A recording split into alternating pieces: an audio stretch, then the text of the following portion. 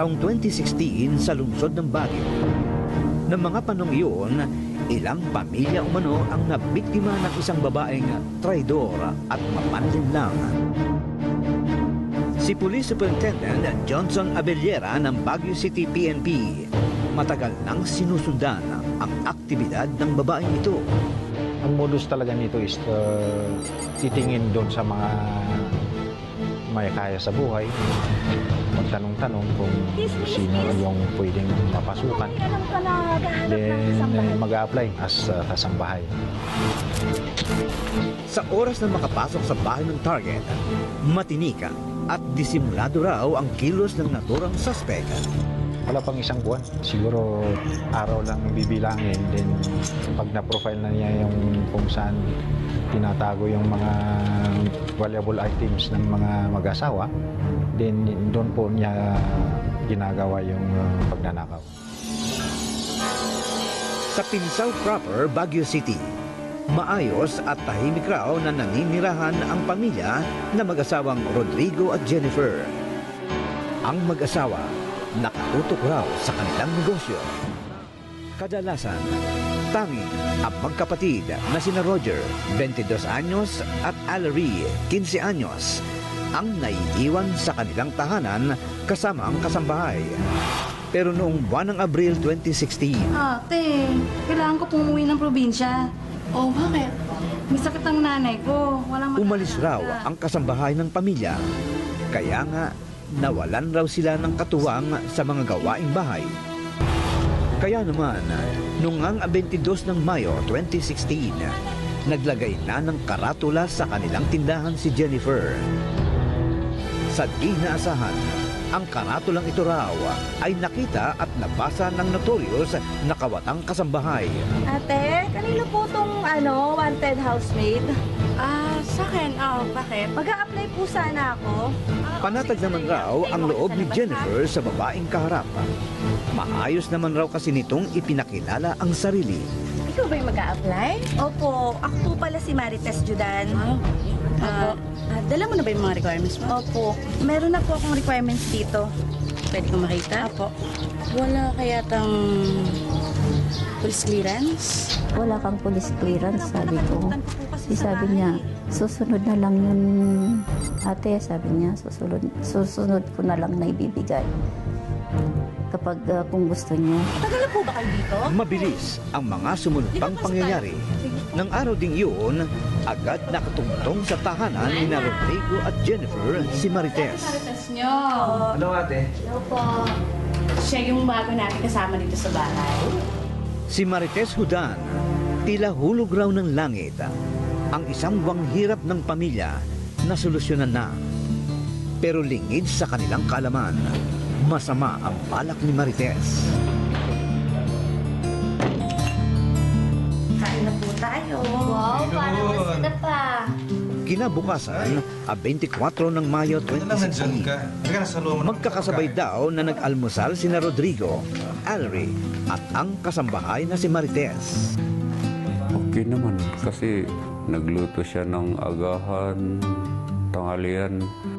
Ay pa, Ah. kailan po pala ako mag-enroll? Nak, may pupuntahan ako. Di ba kung student ka naman na? Suppose ka naman na tayo mag-enroll. Papa, please. Ayoko maulit sa enrollment namin. Pagkatapos naming kumain ng agahan, sabi niya, pag-enroll na tayo. Pasok ka ba? na, sa pasok na. Sabi ko naman, may pupuntahan pa naman kami ngayon. Di bali at ano, old student ka naman. Pwede kang mag-enroll pag pasukan na, sabi ko sa kanya. Matapos ang agahan, nagpaalam pa raw si Rodrigo sa anak. Parang nagtampo. Pagkatapos lang kumain, pumasok na sa kwarto. Yun na, nung paalis na ako at dumating na yung driver ko, Alere! Alere! tinatawag ko si Aleri, ayaw lumabas. Alis na ako. Ikaw nang bahala dito, ha? Opo, kuya. Gagabihin po ba kayo? Hindi ako sigurado. Pasado alas 10 ng umaga, pauwi na ng bahay ang panganay na si Roger mula sa pagde-deliver ng tubig kasama ang kanilang driver. Pero bago pa raw makapasok sa kanilang tahanan, sinalubong raw ni Marites si Roger. Sir, hatid mo naman ako sa palengke. O yan natin, nagugutom na ako. Kakain muna sana ako. Kasi yung mama mo, kanina pa hinihintay itong mga plato. Pagdating namin galing sa ano, pagdi-deliver, imbis na kakain ako dito, sinabing uh, pupunta sa sa market. Ano ba yan? Maiwan ka na muna dito, ha? Natin ito muna to. Tara na. Sinamahan na nga raw ni Roger si Marites sa palengke. Pero bago pa man raw nilang marating ang kanilang pwesto, Roger, dito na lang ako. Akala ko ba doon ka sa pwesto bababa? Hindi na marami naman jeep, oh. Sigurado ka? Oo, para makakain ka na rin, ha? O sige, sige. Ingat ka. matapos maihatid si Marites, agad naman raw bumalik ng bahay si Roger. Pagdating doon, Valerie! Pumasok ako, papatayin ko yung gripo tsaka yung ulo. May dugo! Valerie! Nakita ko na yung kapatid kong dugo. Nakahiga siyang uh, nakaside yung ulo na may tape dito na parang tsaka sobrang daming dugo. Nagpasigaw ako na kahit ganyan, kaya sinakay namin dun sa sasakyan eh, pinunta na namin sa ospital. Emergency. Wala na, tinakpan na kaya alam kong wala na si Alin. Sino ba gawa nito sa'yo? Hindi ko naman alam na patay na pala siya. Ang alam ko sinaksak lang. abot langit ang pagdadalamati ng pamilya. Hindi nila inakalang daratnan sa kalunos-lunos na sitwasyon ang bunsong anak. Patay sa medical legal doctor na si Police Superintendent Jaime Rodrigo Leal. Pagkaubos ng dugo, sanhi ng tinamong labing tatlong saksak ang direktang ikinamatay ng 15 anyos na si Allery. Sa inisyal na investigasyon, napag-alaman na ilan sa mga kagamitan at gadgets na mag-anak ang nawawala. Tablet niya, iPhone, yun lang, saka isang relo, yung sing-sing niya, saka yung, yung pira niya lang, konti lang naman ang pira ng anak. Dahil dito, tinukoy na pagnanakaw ang motibo sa naganap na krimen. Na-recover naman sa crime scene ang hinihinalang murder weapon. Sa puntong iyon, iisang tao ang naisip ng pamilya na nasa likod ng brutal na krimen. At diyon ay ang bago nilang kasambahan na si Marites. Hindi ko naman alam na ganun ang ginawa na sa kapatid ko. Siyempre, bumaba siya sa arko ng doon sa Nagilya. Sabi ano, dito na lang ako para ano, uh, makabalik ka na. Mag-jeep na lang ako. Ang naturang pamilya, di batid na itong si Marites. May mga una nang ninakawan habang nagpapanggap na katulong. Pero sa pagkakataong ito, ang kawatang kasambahay nagawa pang pumatay.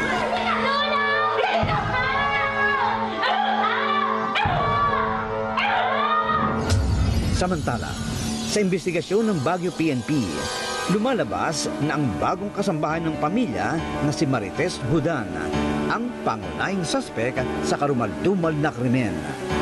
Una, siya raw kasi ang huling kasama ng biktima bago ito natagpo ang patay. Umalis na kami. Sila lang dalawang naiwan.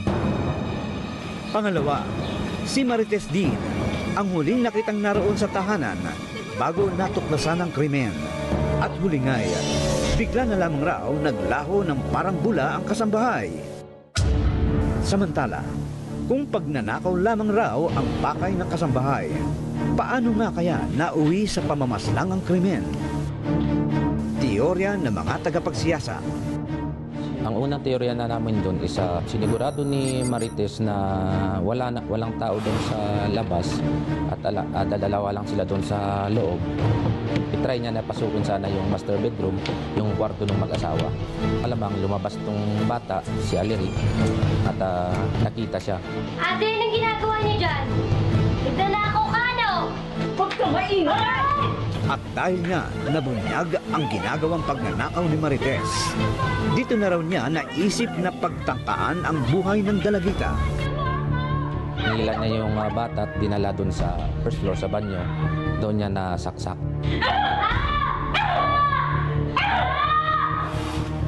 Ng mga panong iyon, batid ng mga otoridad na hindi ito ang unang pagkakataong umatake ang kawatang kasambahay. Ayon pa sa Baguio City PNP, gumagamit rin daw ng iba't ibang pangalan at peking dokumento si Marites. Nag-conduct ng investigation yung police doon sa area ng ah, Station 6 nung na-identify na yung real na pangalan ni nitong suspect na si Marites. Kasi iba yung ginamit niyang pangalan doon. Gumamit siya ng ibang pangalan. Ilan sa mga pangalang ginagamit ng kasambahay ang Marites Regio Raza, Florence Macaalay at Brenda Ducusin. Matapos ang investigasyon, tuluyan ang sinampahan ng kasong robbery with homicide si Marites Hudan sa Baguio City Prosecutor's Office. Samantala, isa namang warrant of arrest ang inisyu ni Presiding Judge Emmanuel Cacho Racing ng Branch 3 Baguio Regional Trial Court laban kay Marites. Dalawang taon na ang lumipas. Patuloy pa rin tinatakasan ni Marites ang batas. At sa kasamaang palad, muli pa pala itong aatake at mambibiktima. After the incident here in Baguio, ay ah, tumakbo siya, nagtago. Then ah, after a while, mayroon tayong information na gumawa ng ulit ng pagnanakaw sa pinasokan niyang bahay sa Bangar, La Union. Ito yung sa ano sa Kamiling Tarlac. Tumawag po yung anak ng biktima kay former station commander ng ah, station 2 na si Superintendent Mo. Nalaman nung may-ari ng bahay na mayroon palang pinatay na bata dito sa Baguio. Doon na natakot at uh, nireport sa pulis. Ngayon, itinuring na number one most wanted criminal ng Baguio City Police ang 42 anyos na si Marites Hudan. We consider her as uh, dangerous kasi pag uh, may nakakita sa kanya as witness or uh, nagsumbong sa kanya is uh, to the extent na kaya niyang patayin. At para naman makaiwas na maging biktima nitong notorious na kasambahay, narito ang ilang mga paalala. Kumuha lamang sa mga kilalang ahensya o di kaya'y humingi ng referral sa mga kakilala. Hinga ng kaukulang dokumento gaya ng police clearance or NBI clearance ang aplikante. Makatutulong din ang mga pag-background check sa pamamagitan ng centralized database ng PNP na e-warrant. Sa kasalukuyan, patuloy ang pangungulila ng mag-asawang Rodrigo at Jennifer kay Allery. May mensahe ang mag-asawa sa kanilang bunso. Sana alin mapatawad mo ako kasi ako ang kumuha ng pumatay sa'yo. Talaga akong may kasalanan sa pagkamatay mo. Mahal na mahal namin siya. Sa iyo, anak, Valerie, pasensya ka na at hindi naman natin alam na ganun ang mangyayari. Kaya iniwan kita. Siyempre, akala ko naman safe ka at nandito ka sa bahay. Yun pala, hindi natin alam yung kasama niya pala, yun ang papatay sa kanya. Naglaan naman ng isang daang libong pisong pabuya ang pamilya para sa makapagtuturo sa kinaroroonan ng takas sa batas na si Marites Hudan. Sana mahuli na siya para pagdusahan niya yung ginawa niya. Para matahimik din kami, matahimik din si Allery. Pamilya, huwag pong kalimutang mag-subscribe sa ABS-CBN News Channel. I-click lang ang button na ito.